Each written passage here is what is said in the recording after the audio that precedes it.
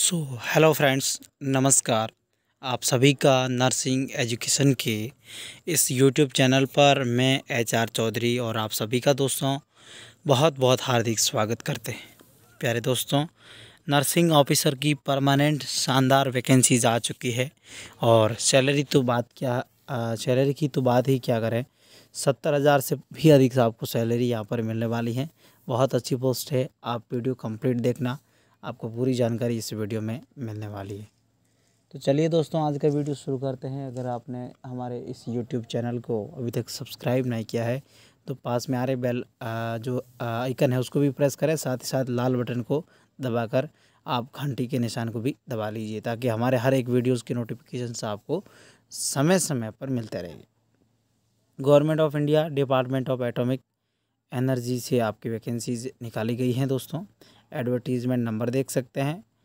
Last date for recipient of application की बात करें तो छः जून 2022 इसके लास्ट डेट है। तो अभी आपके पास बहुत सारा समय है।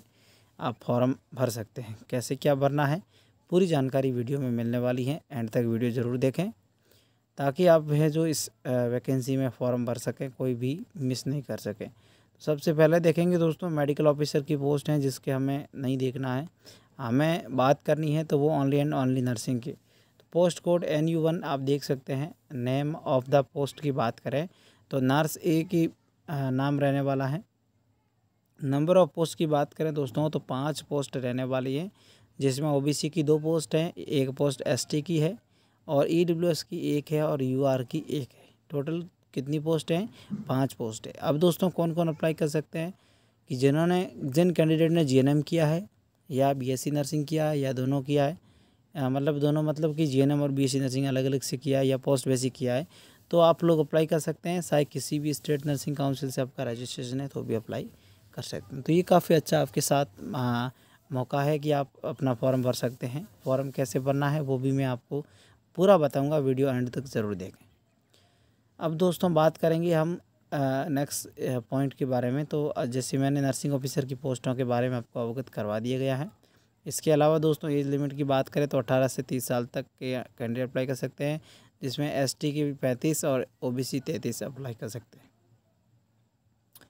फॉर्म दोस्तों, क्या करना? फॉर्म के लिए पूरा प्रोसेस इसमें समझा रखा है। उसके अलावा मैं आपको बता देता हूँ कि नर्सिंग की सैलरी की बात करें तो आपका चवालीस हज़ार नौ सौ रुपये बेसिक रहेगा। उसके साथ जब हम अलाउंसेज जोड़ते हैं तो सत्तर हज़ार से भी अधिक आपकी सैलरी हो जाती है।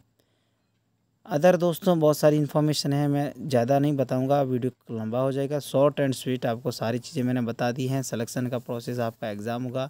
एग्ज़ाम में क्या क्या आएगा, वो भी इसमें मेंशन कर रखा है। आप देख लेना। मैं ये जो पीडीएफ है, वो हमारे टेलीग्राम ग्रुप नर्सिंग एजुकेशन के नाम से है। उसमें डाल दूँगा, वहाँ से आप इजीली सारी चीज़ें पढ़ सकते हैं और फिर निकलवा सकते हैं।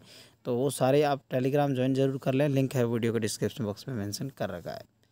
अब दोस्तों नेक्स्ट देखेंगे हम लोग तो यहाँ पर हम बात करेंगे फॉर्म कैसे भरना तो ये फॉर्म का पूरा प्रोसेस दे रखा है आपको, किस तरीके से फॉर्म भरना है, पूरा जानकारी इसमें दे रखा है।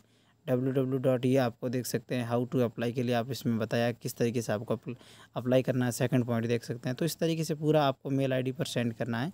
ये पूरा प्रोसेस इसमें समझा रखा है, ठीक है? मोटी मोटी बात मैंने बता दी। फिर भी कोई डाउट लगे तो कमेंट बॉक्स में कमेंट करें और इस पीडीएफ को लेने के लिए हमारे टेलीग्राम ग्रुप को ज़रूर ज्वाइन करें। थैंक यू सो मच दोस्तों।